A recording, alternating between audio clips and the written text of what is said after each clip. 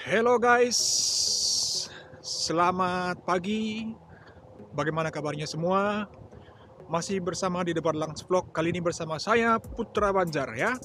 Jadi hari ini di pagi hari yang sangat cerah, bisa dilihat di sekitar saya juga. Tepatnya di hari Selasa ya.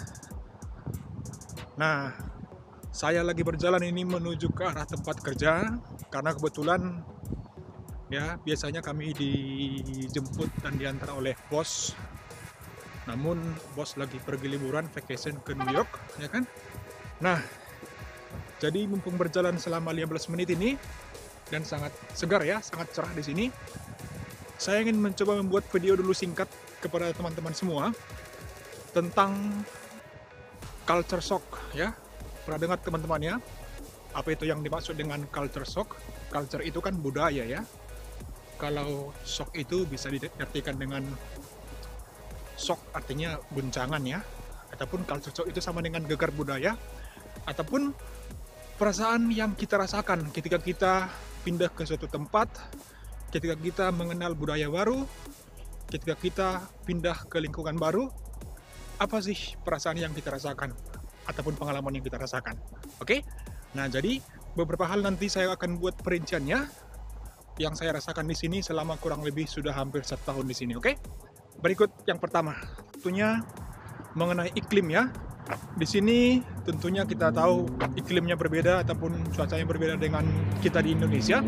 Kalau di Indonesia itu hanya ada dua ya kan, musim panas, musim dingin. Di sini ada musim, ada empat ya. Ada musim panas, ada musim dingin, ada musim gugur, dan ada juga musim semi ya. Nah, mengenai musim di sini juga, ini tentunya yang membuat kita ataupun tubuh kita membutuhkan penyesuaian ya, karena memang ya kalau dingin di sini sangat terlalu dingin ya, bahkan bisa ya salju lah ya kan, sangat bersalju, suhu juga sangat dingin. Kalau misalkan musim panas sangat panas sekali, ya kan, bahkan juga anginnya di sini sangat kencang ya, ya kan. Kalau musim misalkan musim gugur di sini. Bisa berubah cepat-cepat ya kan? Jangan tiba-tiba. Misalkan sekarang cuacanya panas. Bisa dalam beberapa jam nanti tiba-tiba mendung gelap ya kan? Angin kencang. Makanya saya sebenarnya sangat bangga atau salut di sini melihat uh, BMKG-nya ya. Atau misalkan Badan Meteorologi dan Geofisika kalau misalkan kita di Indonesia mereka sangat ahli dalam hal uh, memperkirakan cuaca ya kan?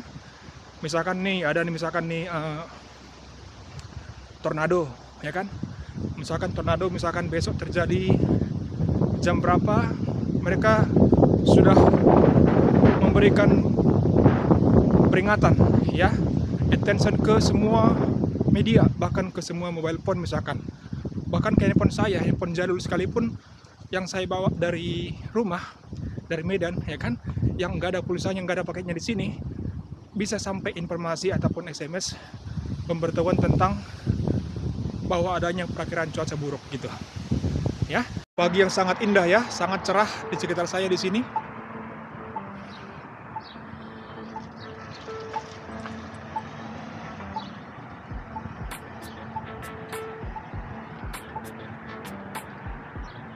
kita ingin menyeberang dulu sebentar.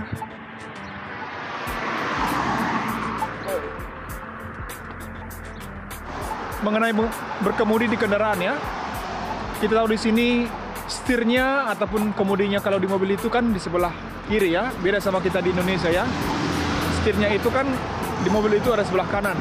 Nah terus mengenai jalur. Di sini juga jalurnya kita harus mengendarai selalu di jalur sebelah kanan seperti ini ya. Kalau kita lihat ini sebelah kanan gue di sini sebelah kanan.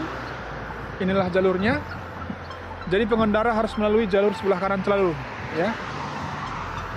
Jadi belum terbiasa kalau misalkan tiba-tiba kita dari negara kita yang biasa dari sebelah kiri jalurnya tiba-tiba di sini harus ke sebelah kanan seperti mobil ini ya.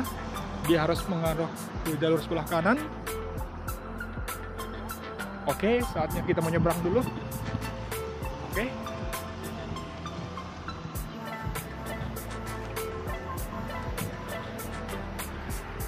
very good very good very good.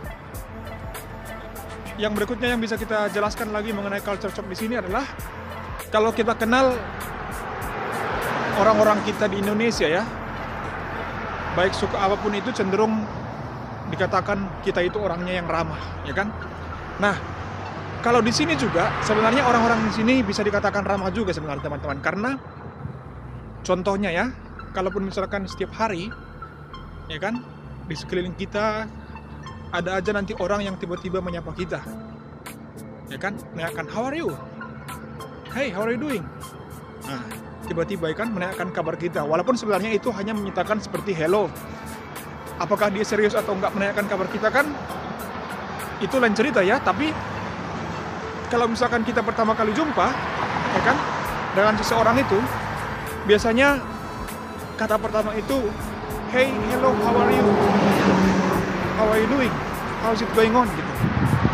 Jadi mereka sebenarnya menanyakan kabar. Lalu kita pun menjawab yes I'm good I'm fine. What about you? Gimana denganmu? Kan gitu.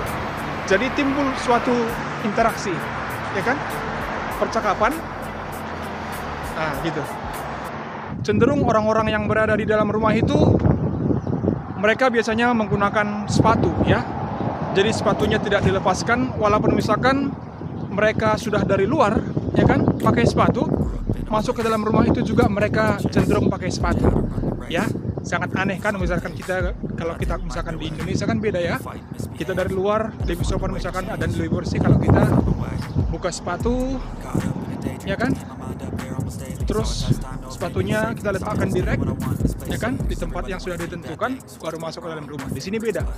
Justru kalau kita mengunjungi rumah seseorang terus kita pakai sepatu misalkan dari luar terus kalau kita buka sepatu kita di sini cenderung bagi mereka itu aneh ya. Bagaimana menurut teman-teman semuanya? Ya kan? Nah yang berikutnya juga yang sedikit berbeda di sini adalah tentang satuan ukuran ya. Walaupun sebenarnya ukurannya sama ya. Kalau misalkan kita di Indonesia kan biasanya kalau misalkan jarak itu jarak satu tempat ke tempat yang lain itu menggunakan meters ya ataupun kilometer di sini cenderung dia menggunakan miles ataupun bisa menggunakan feet. Kalau satuan tinggi itu biasanya how many feet, how many inch gitu. Ya kan? Kalau misalkan suhu temperatur itu kalau kita di Indonesia kan pakai Celsius ya. Di sini dia biasanya berapa Fahrenheit gitu. Jadi cenderung dia cenderung kita kalau belum terbiasa kita harus melihat misalkan ukurannya kita konversikan kira-kira berapa gitu misalkan volume ya volume isi di sini cenderung berapa galon katanya? How many gallons? How many ounce? Ya kan kalau kita kan kilograms right? How many ounce how many gallon? Iya. Oke nah jadi kali ini saya akan mencoba duduk dulu di sini di bawah pohon rindang ya supaya lebih enak kita cerita-cerita tentang budaya tips ya. Kita teman-teman semua di sini orang-orang di sini sangat mementingkan juga budaya tips. Bahkan misalkan ketika mereka pergi ke restoran, makan di restoran, mereka selalu meninggalkan tipsnya, ya. Bahkan misalkan ada bagian servis, misalkan uh, Uber ya ataupun Grab di sini, ya kan? Ataupun misalkan servis yang lain, misalkan barbershop normally mereka biasanya memberikan tips kepada karyawannya, ya kan? Itu sudah hal yang umum juga. Makanya ketika kita juga kemarin datang, ya kan kita akan terbiasa nanti melakukan itu. Biasanya tipsnya sekitar 10% sampai 20% dari total biaya yang kita habiskan. Ya.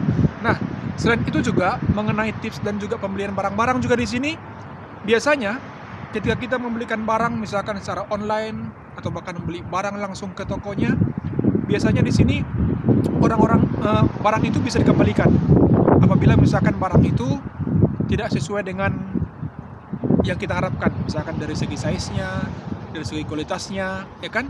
Walaupun misalkan online misalkan kita beli misalkan dari Amazon ya kan? Terus dikirim terus kita lihat barangnya terus tidak sesuai ini bisa dikembalikan ya. Bisa diganti dengan barang yang baru atau bahkan misalkan bisa juga kita minta uang kita kembali ya. Nah yang berikutnya mungkin adalah tentang dunia percebokan ya. Sangat lucu pemirsa ya bahkan dunia percebokan pun masuk ke dalam konten ya. Nah, kita tahu bahwa di Amerika ini toilet untuk pup di sini adalah toilet duduk. Ya kan? Beda sama kita di Indonesia kan kebanyakan itu toilet jongkok walaupun sebenarnya sudah beberapa tempat misalkan di hotel atau misalkan di apartemen-apartemen sudah menggunakan toilet yang duduk, tapi di sini dia membersihkannya kita hanya disediakan tisu, ya. Jadi kalau misalkan kita pergi ke sebuah tempat, ke mall, ke misalkan di bandara, ke public place gitu, ya. Jadi toiletnya adalah toilet duduk dan biasanya kalau misalkan seseorang itu misalkan uh, misalkan berak lah kita bilang berak, ya kan buang air besar, jadi membersihkannya itu tidak cebok seperti kita misalkan menggunakan air karena di sini tidak disediakan gayung ya gayung misalkan airnya juga mereka hanya menyediakan tisu tisu roll begitu oke. Jadi sekarang kita bahas dulu tentang dunia percebokan ya. Saya akan tunjukkan kepada kawan-kawan ini salah satu public restroom ataupun toilet umum ya. Nah kita lihat di sini salah satu public restroom.